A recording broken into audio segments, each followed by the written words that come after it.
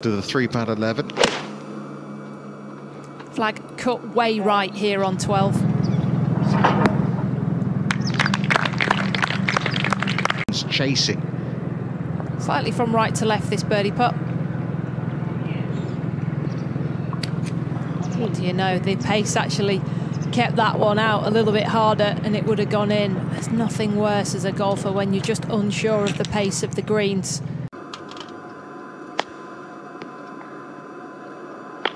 That's excellent from Maja Stark. Quite a bit of golf since then in the United States. Stark to try and get back to seven under par.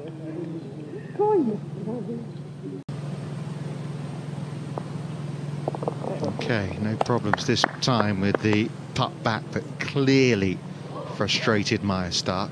The 15th, back down the slope for Stark. Yes. It was racing as well, but it dropped. And yeah, look at that, putter's working. See?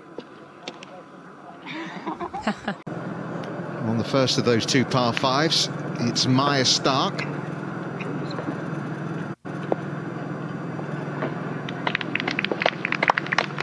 Nicely done.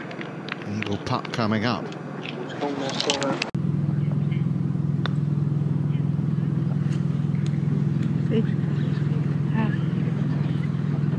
Listen to the noise. Invite.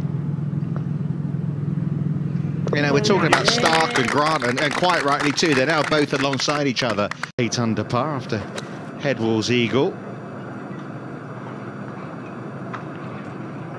And another par five where Stark hits the green in two, although there's a putt for Eagle in name.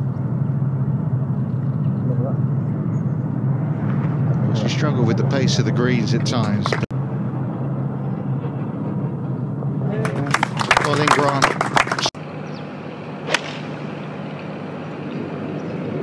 Eyes on the prize.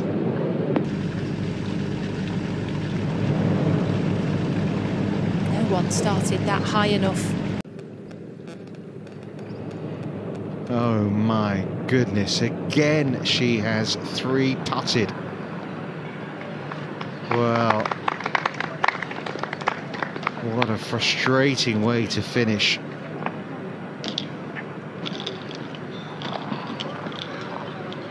Oh, Art would have sunk there. They've made such a good run at the end.